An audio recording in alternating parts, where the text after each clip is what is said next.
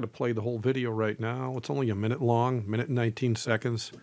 Uh, but it's pretty intense and it shows uh, how easily you can be tracked down. And uh, I don't know why they changed the video. It was like four minutes the other day where they actually showed a reporter being arrested. Well, I mean, it was just all staged, of course, just to see how well it would work. But if you're not an obedient Christian, this video is most assuredly going to frighten you in a big way. And, and the reason being is if we are the last generation that are going to see the mark of the beast in force, this video shows, even this one here, the doctored one, the new one that they put up that's only a minute long, that it shows how easily some Christians that refuse the mark of the beast are going to be tracked down. They tracked and they captured that man on the original video in only seven minutes in that massive city in China. And this isn't even taking into consideration all the data the government has on you, you know, via your digital identity. I mean, in that video, they do use their CCTV network, but they can also use your debit, your credit, your ID cards, and a plethora of other ways to track you down as well, like your new iPhone with its Face ID built right in. And don't think for a minute that both cameras on your Android cell phones are just there for your pleasure. Every picture that you now take is logged and even tagged with a GPS location, in it unless you shut that feature off.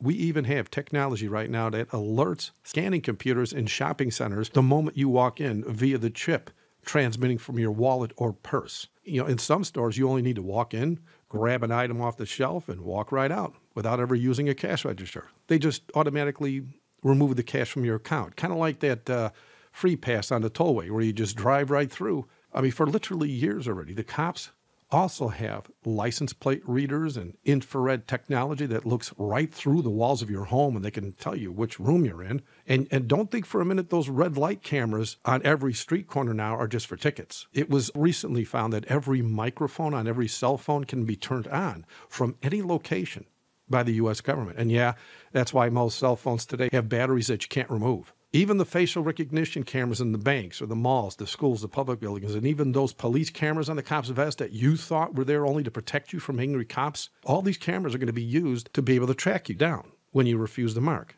For example, if you get pulled over by a cop, that camera is reading your face and he can tell right off the bat whether you're a problem or not just by being alerted on his monitor in his police unit.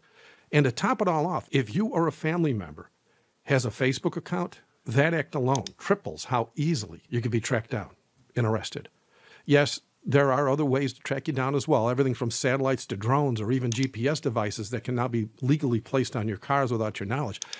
But I simply don't have time to itemize everything they can use in today's world. Did I share all that to scare you? No, not at all. I mean, real Christians trust our God to protect us no matter where we end up, be it in jail, a cave, or on a mountaintop. I mean, real Christians have no fear because we trust Him to use us in any way He sees fit. And by the way, real Christians also have something all the lukewarm Christians or the atheists and the Muslims and others never knew about because most don't open Bibles.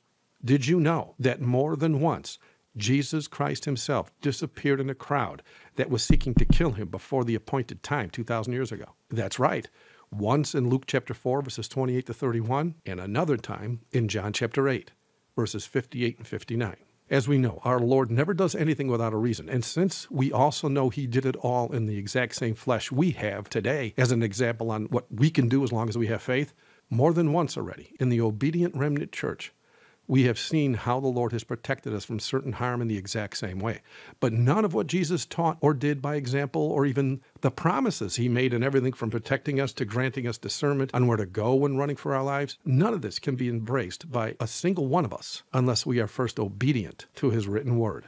Soon the mark of the beast is going to be enforced. If you are not striving unto the perfection Christ said his bride will attain to when he returns, then you're going to be tracked down just as easily as that reporter was tracked down in China when that day comes.